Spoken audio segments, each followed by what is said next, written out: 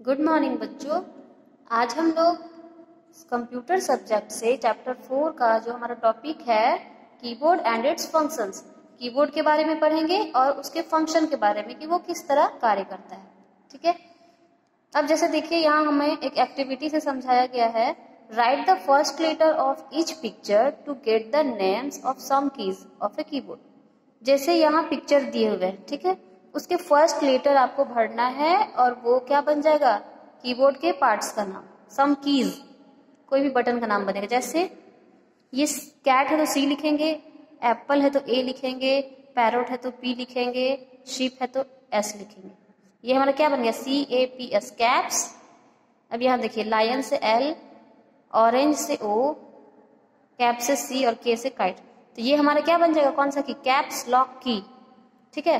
तो आप लोग को करना क्या है, ये पिक्चर देख उसके फ़र्स्ट लेटर लिखने हैं, और वो क्या बन जाएगा, एक कीज का नाम। ठीक है?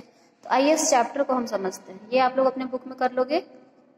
अब चैप्टर में क्या लिखा है? A keyboard is an important part of a computer keyboard में क्या है? कंप्यूटर का इंपॉर्टेंट पार्ट है।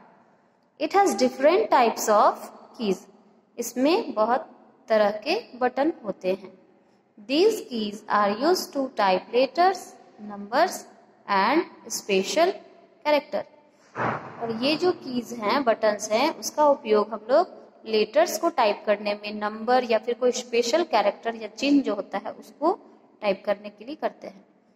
Whatever we type through a keyboard appears on the monitor अब हम लोग कीबोर्ड से जो भी टाइप करेंगे वो कहाँ दिखेगा? हमारे मॉनिटर में दिखेगा ठीक है अब यहाँ देखिए keyboard has three types of keys keyboard को कीबोर्ड में तीन तरह के कीज होते हैं.